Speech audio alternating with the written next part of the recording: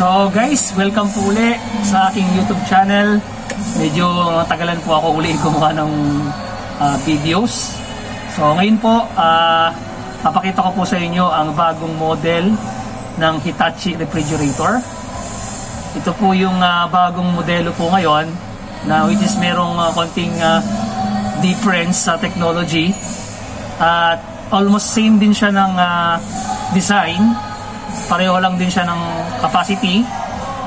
So, ang bagong modelo po ng Hitachi ay yung RBX 505. So, papakita ko po sa video na ito kung ano po ang kaibahan niya ng unang modelo. So, mas uh, dinagdagan po ng features. So, tara po guys, samahan niyo po ako. Welcome po muli sa aking YouTube channel. Huwag niyo po kakalimutang uh, i-likes, share, and subscribe. Salamat po.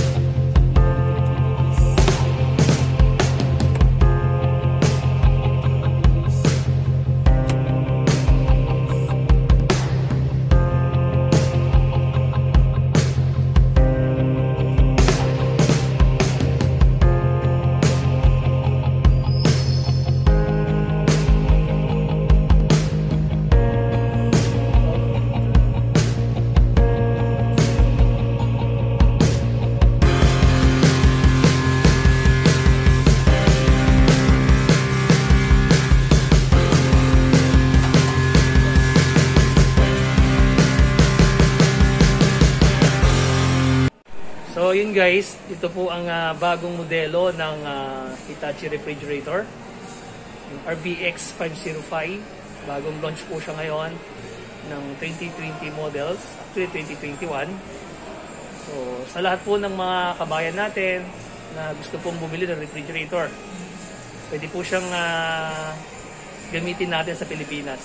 Although ito po ay 50 Hz, stabilizer na po ang ah, refrigerator po ng Hitachi. So, pwedeng pwede na po tayo magpadala sa Pilipinas. Gusto niyo po, pwede po tayong mag-avail, bumili sa, dito po sa UAE.